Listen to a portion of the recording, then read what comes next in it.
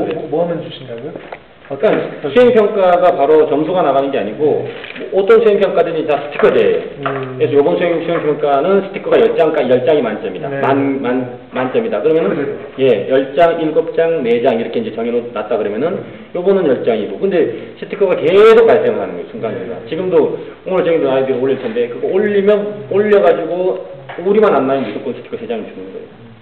이 점수는 나중에 최종 계산하는 거예요. 이 어떤 원리냐면 엄마 슈퍼 가가지고 뭐 사가지고 오시면 딱 마일리지. 그래가 냉장고에다가 마일리지라고. 집만 돼지 만들고 음. 네, 세장 네, 스티커를 주는 이유 중에 하나가 뭐냐면 한 방에 그 수행평가 해가지고 끝내서 점수화해 버리니까 아이들이 캐사레테라가 되는 경우가 많아요. 끝나.